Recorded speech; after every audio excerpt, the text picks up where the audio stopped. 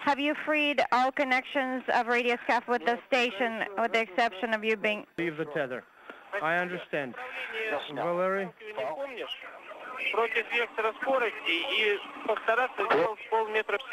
Uh, you have to try and uh, push it at at least half a meter per second.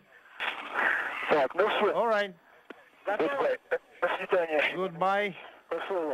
Mr. Smith? Yeah, we can see him. And there was the uh, deployment of SuitSat flying away. Uh, we can... At 5.02 p.m. Central Time, SuitSat on its way, heading into an innovative and solitary orbit around the Earth. Thank you very much.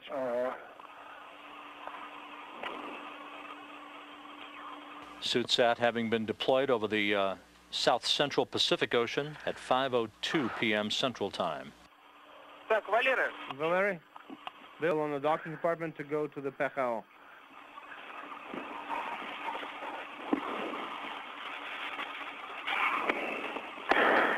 Так, ну, я-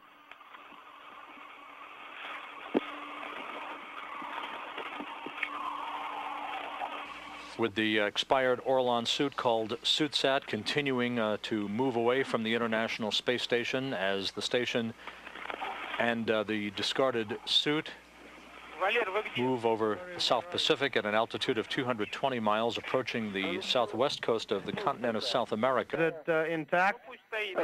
Yeah, it's uh, there. It's a frame, just like any other frame.